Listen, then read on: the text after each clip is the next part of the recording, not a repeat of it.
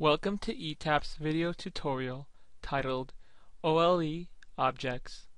Here, the user will learn how to use their favorite spreadsheet, Word document, or logo and embed it onto the OneLine using object linking and embedding technology. Let's first start by going to the Edit menu and inserting a new object. From this menu, you can create a new OLE object or you can select one from a file.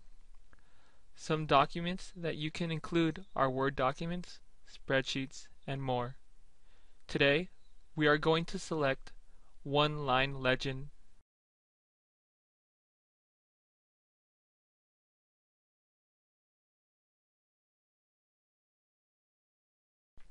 Once the OLE object is inserted, you can drag and position it on the one line diagram as you please.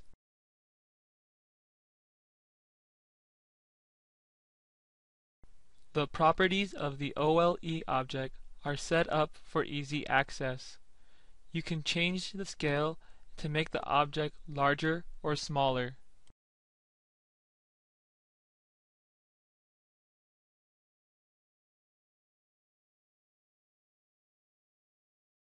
By double-clicking on the OLE object, you can change its text or graphics.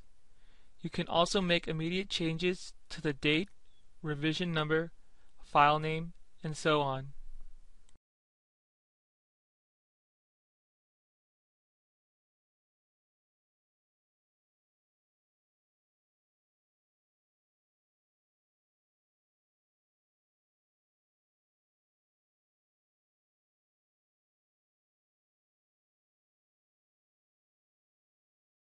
Once you have finished, click on File, go to the drop-down menu, and select Close and Return to Study View.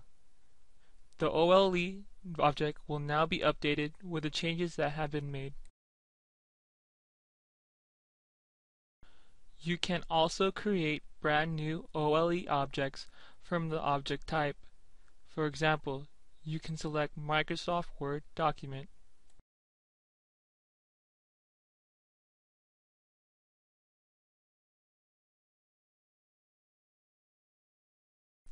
If you have Microsoft Word installed, a blank document will be created in which you can type in any text you would like, or in this case, insert a graphic.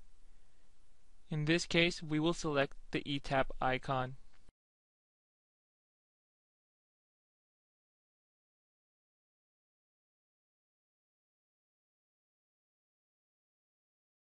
As you can see, the user has the freedom to move the OLE object anywhere on the OneLine.